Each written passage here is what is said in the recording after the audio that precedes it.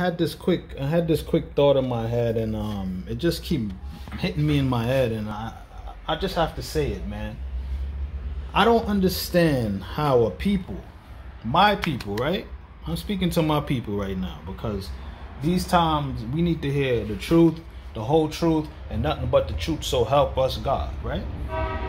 I don't understand how my people, right, have been oppressed by an oppressor for 400 plus years, whatever you want to call it.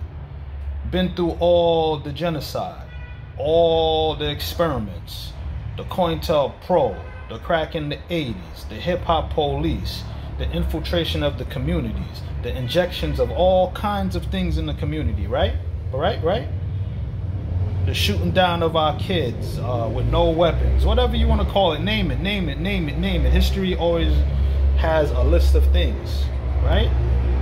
But yet, we are sitting and waiting for our oppressor to save us from what's going on right now, to save us from the problem that he created with his system. And all these things that's going on, it is a cause of the negativity of the system and what's been created by the system and what's going to be created in the future. So let me get this straight.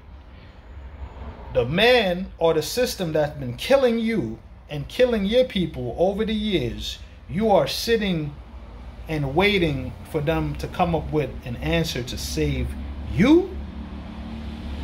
Really? I got questions and I need answers. I really, I really got questions and I really need answers. Like, how can we sit there as a people and wait for a man or a system that has been killing us over the years to save us from the problem that it created now? I'll wait. Because I got questions and I need answers. Uh, I'll wait. I'll wait for that. Somebody can can somebody answer that question for me, please?